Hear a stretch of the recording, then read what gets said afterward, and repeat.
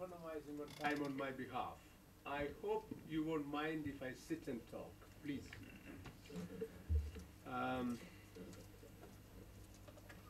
it is said the professor is one who speaks while others fall asleep. I've been watching you. I don't think, are you professors? No. Yet people were sleeping.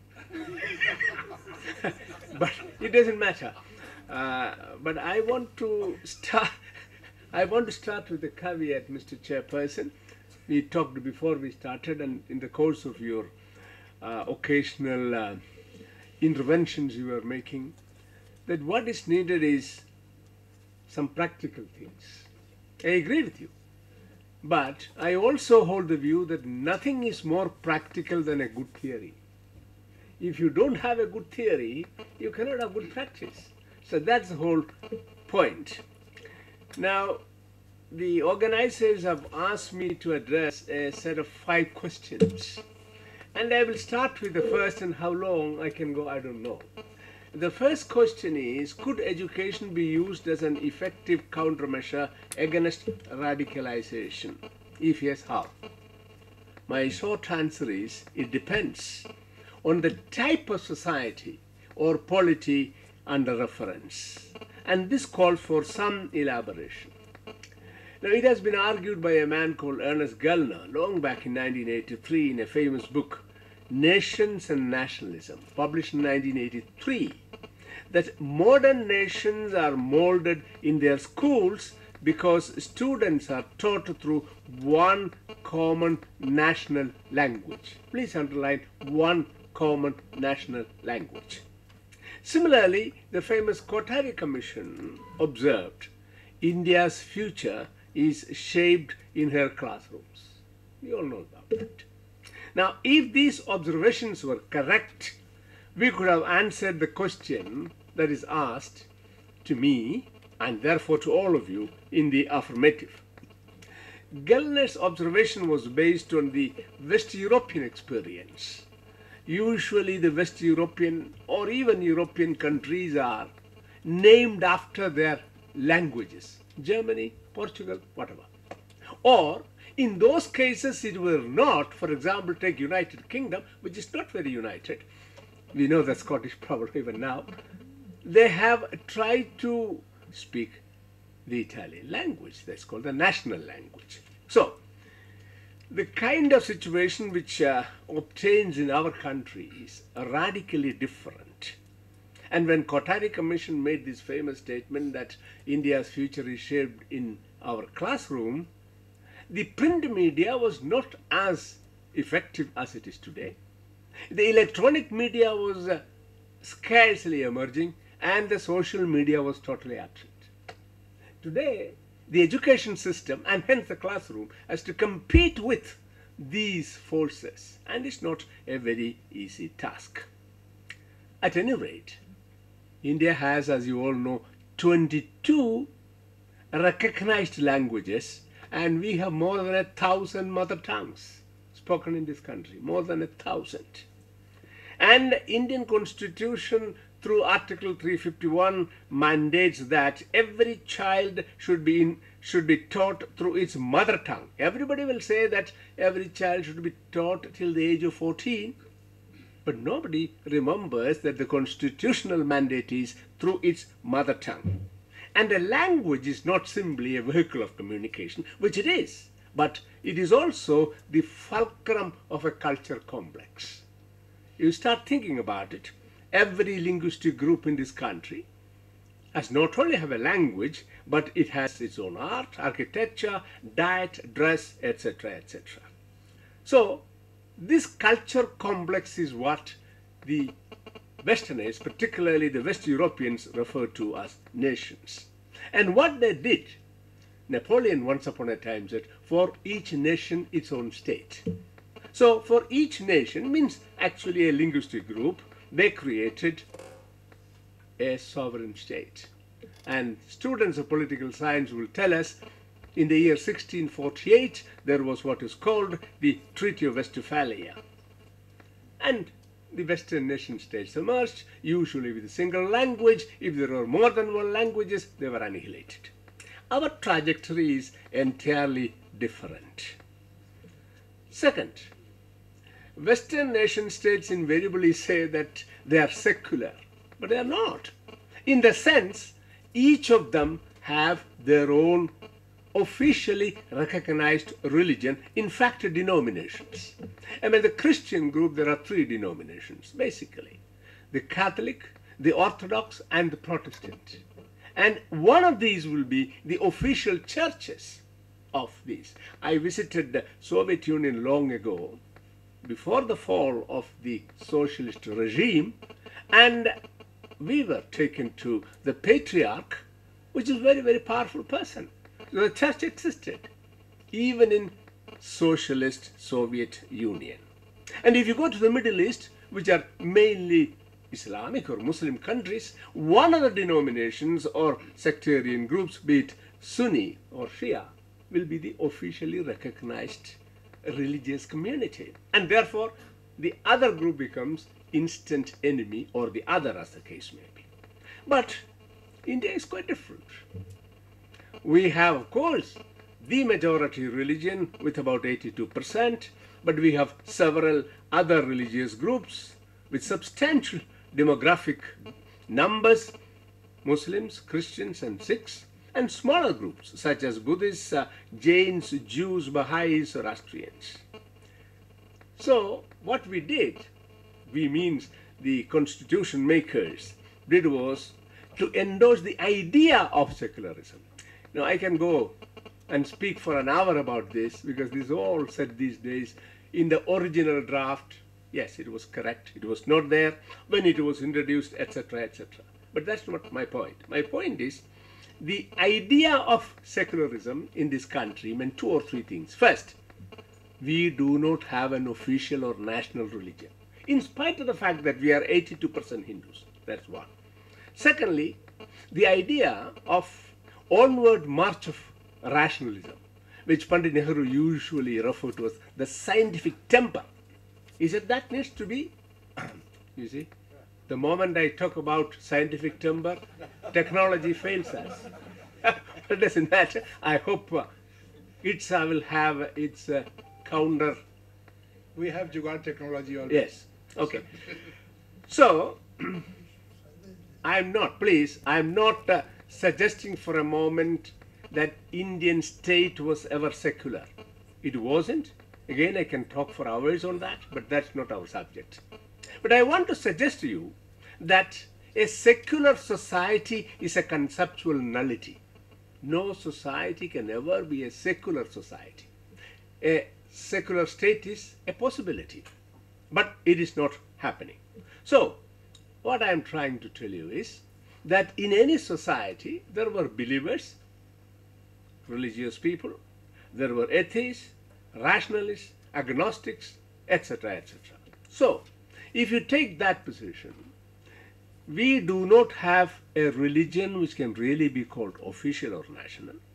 We have something like 22 languages which are recognized and many which are not recognized. That means not put into the eighth schedule.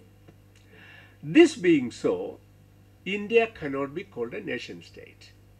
That's my first point because the kind of education that we should have will have to be different from the kind of education that you will have in nation state in Europe, which would be singular in character.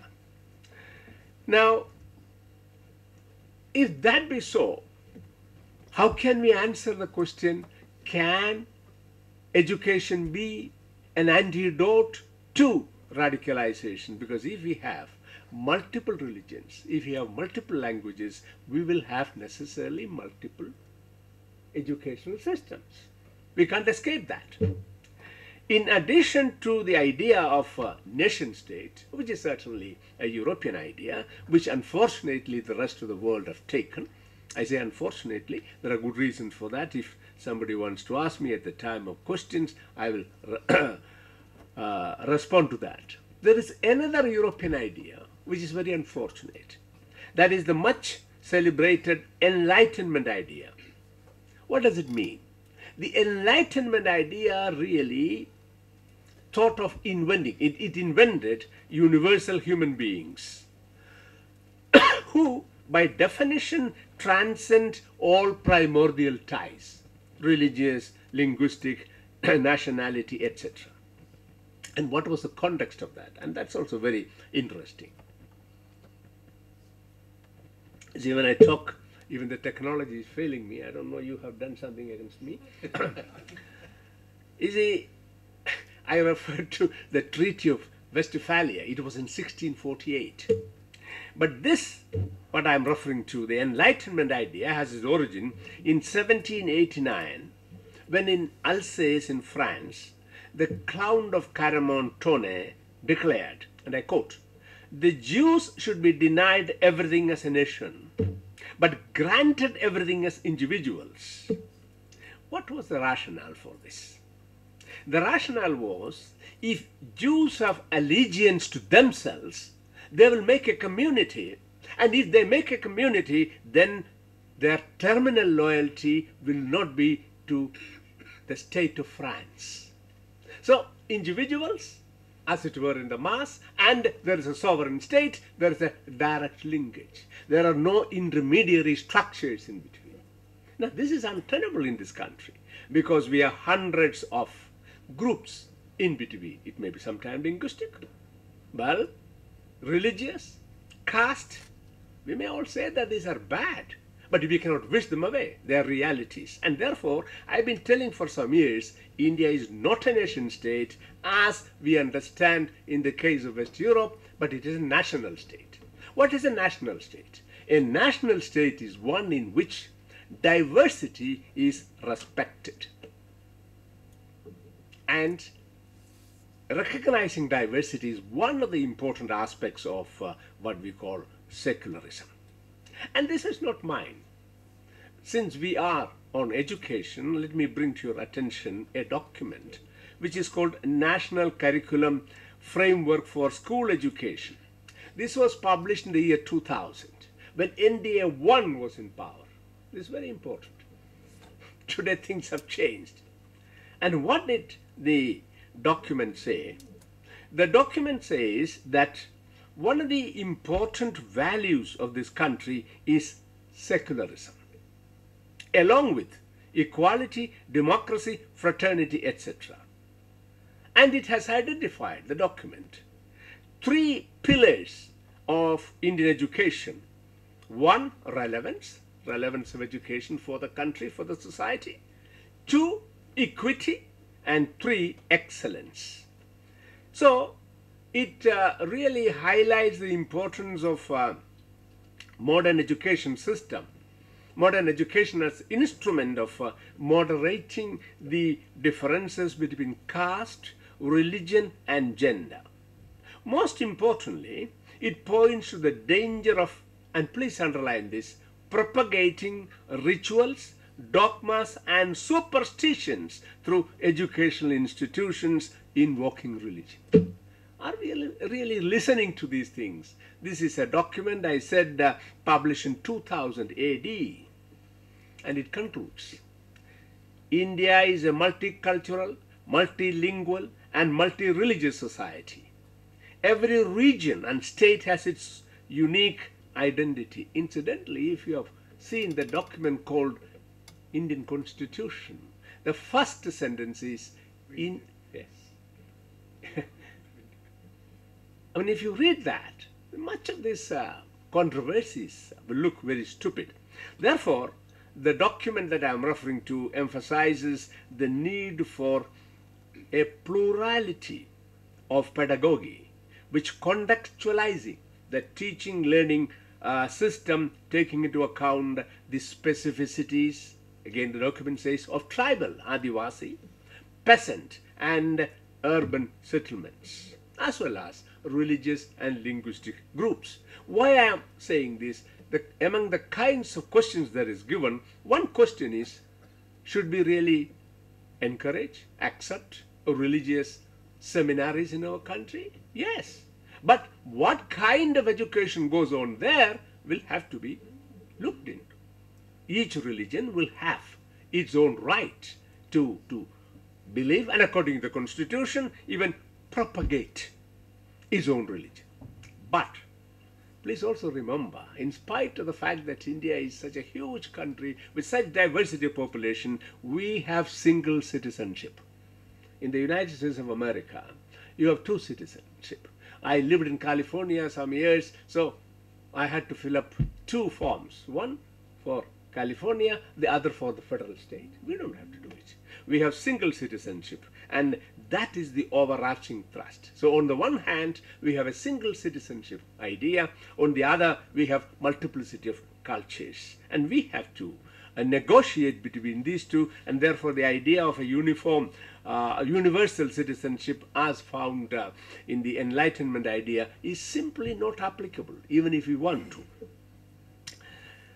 Therefore, education can play a positive role in containing or preventing radicalization only if we have consensus, not necessarily unanimity, on the idea of India. And this is again something which is discussed so frequently the idea of India. At least there are four competing ideas of India if you go through the available literature on the subject. First, I will simply mention that and leave it there. First, cultural monism. One set of people say that India will have to be seen as one nation, one culture, one people. Yes, we are a people in the sense that there is uniform citizenship, all India citizenship. We are one people as citizens, but not as religious people, not as linguistic people, not as people who dress in the same manner or eat the same kind of food.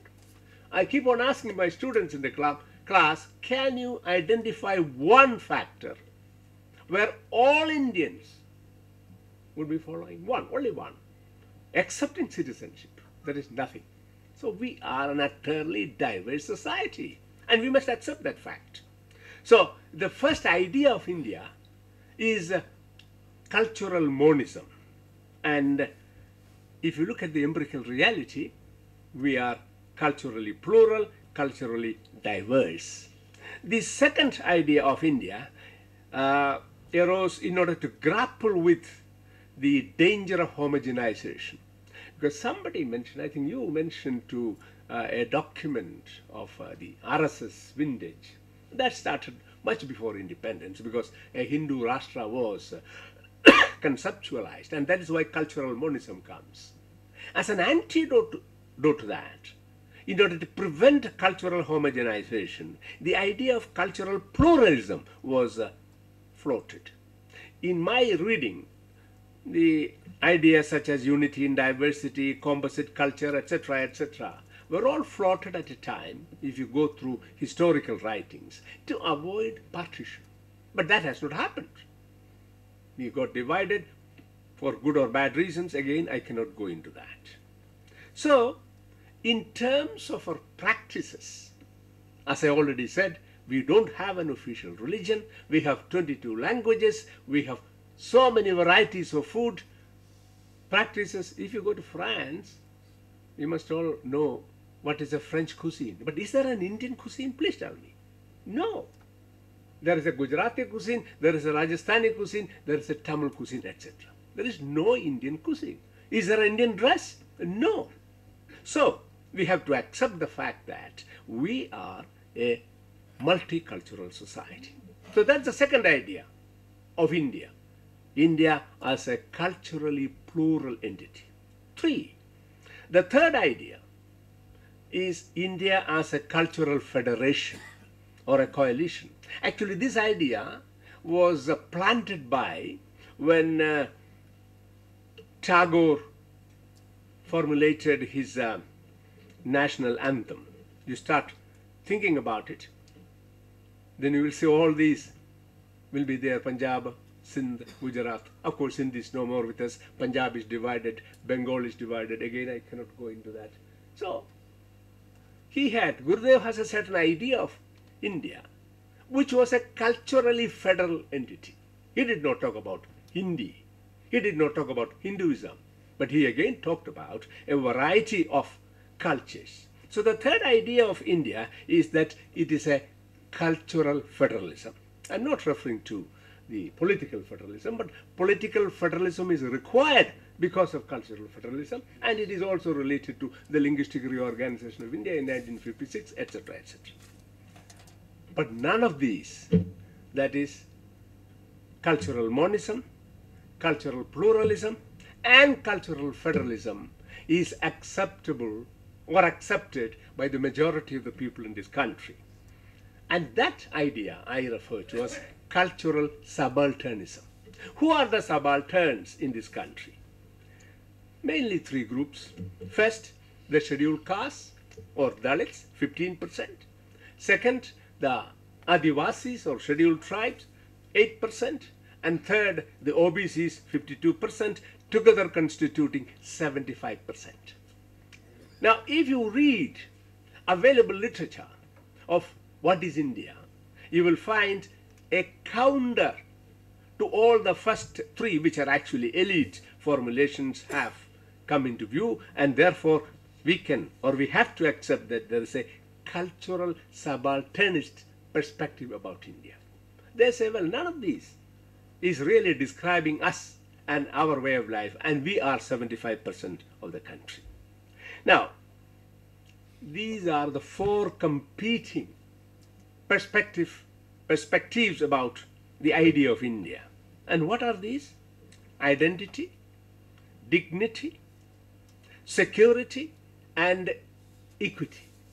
So IDSE, the three, the four things together, it's it may be a good idea, isn't it? So IDSE, we are not thinking about India in that sense. Somebody will think India is Hindu, this, that, and the other. Others will think it is a multicultural, which it is. But more than all this, we must think in terms of an entity called identity, which is having identity, dignity, security, and equity.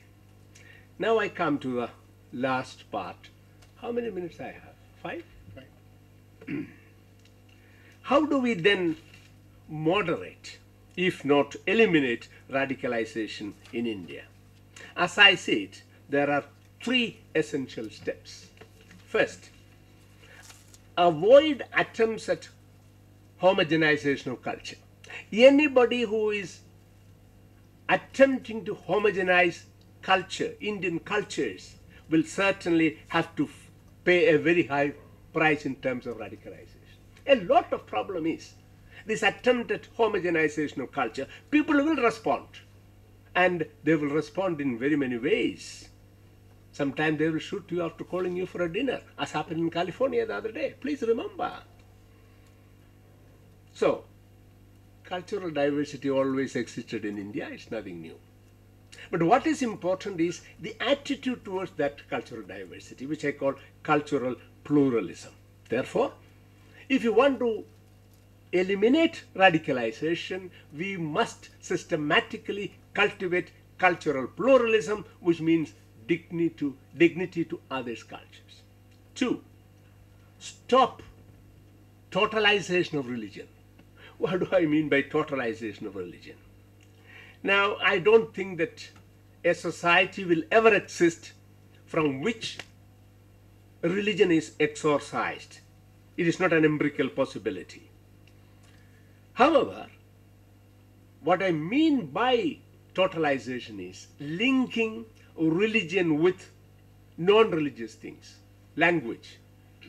We always think that Sanskrit is inextricably intertwined with Aryan Hinduism, Tamil with Dravidian Hinduism, Urdu with subcontinental Islam, Pali with Buddhism, etc. etc. Oh, Punjabi written in uh, in Gurumukhi with Sikhism, etc. etc. Now, this idea of linking religion and language is an aspect of what I call totalization. Similarly, linking medical systems, Ayurveda, Unani, Allopathy, Tibetan. If you really know the history of these medical systems, it has nothing to do with religion. And it works. I'm a great believer in uh, Ayurveda because I benefited out of it. It has nothing to do with religion. Some people object to yoga. How stupid! Such a wonderful thing. But why should necessarily be related to a religion? I don't understand. See, that's my point. Never try to totalize religion or think in terms of legal systems. Each religion is trying to project that we have a monopoly of a particular legal system. No. We have at least three legal systems in this country. One, religious legal systems.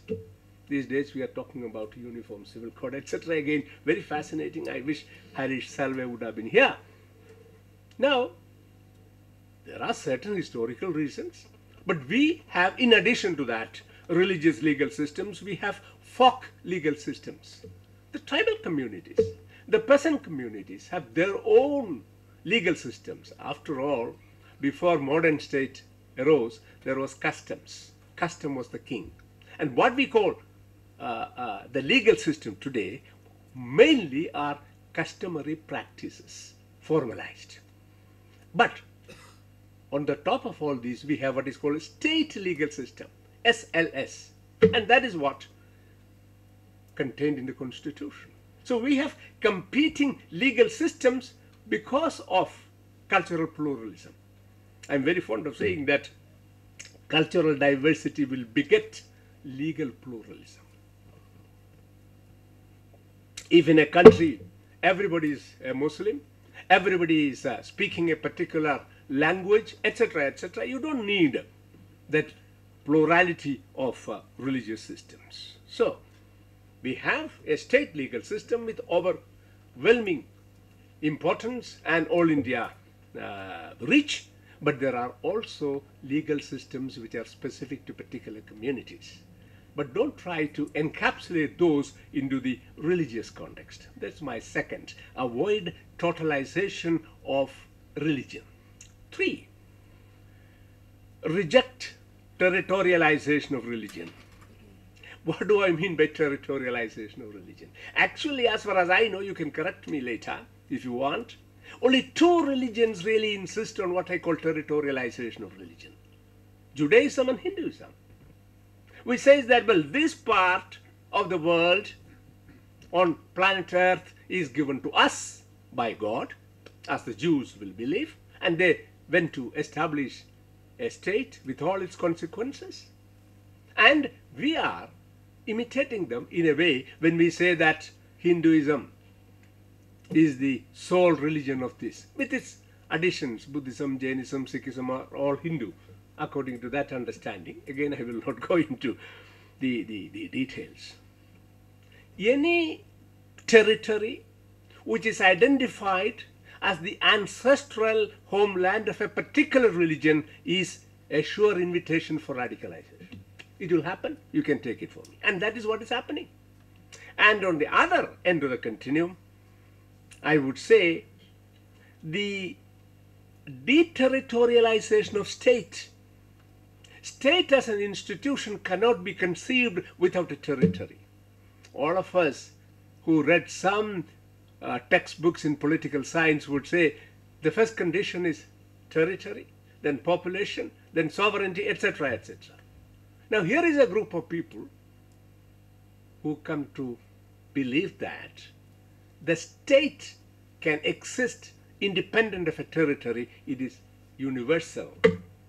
Of course, there is a link with this idea and the notion of ummah, universal community. It is wonderful to have an ummah, in the sense a group of people, and this is the Islamic belief, a group of people who believe in a same God, having a brotherhood, whether you are in Africa, Antarctica, or India, fine enough. But that does not mean that. That people constitute a state. It's a stupid, unworkable idea. But that seemed to be a big threat to us and leading to radicalization. Now, friends, uh, I want to relieve you of uh, the agony of listening to me. Uh, I normally, I normally start by saying that, uh, dear victims, but but at that, but at that time I will be lecturing for an hour. This is a mere 20 minutes that the the chair has uh, permitted me. So, if you do these three things, you can think in terms of avoiding radicalization, but these things will have to be taught in our educational institutions. Educational institution does not have the kind of autonomy that we fancy. Ultimately, it is the state, the society, which determines what should be happening in educational institution. And therefore, to pursue these objectives of radicalization, we should modernize. By modernization, at the moment, I mean only two things. One, structural differentiation. It's a technical term, but let me use it. Structural differentiation only means that certain structures are endowed to do certain things. State is a structure. Religious community is a structure, etc., etc. So, thou shalt do thy work. The state should not get into and get murky by taking on the role of church or temple or mosque and vice versa. That is one aspect of modernization. The other is the onward march of rationality. Now, I don't want to tell you what has been happening in the recent months when people claim that everything was in India, whether it is Pushpak Viman, of course, it's all a matter of imagination, or plastic surgery. We don't need anything from anywhere. Everything was here. Now, this is very sad. And this is the surest way of inviting radicalization. Because when you do this, there will be a counter narrative. Please avoid that. And we have every reason to be optimistic because I think the vast majority of Indians, even today, are sane people. Thank you very much.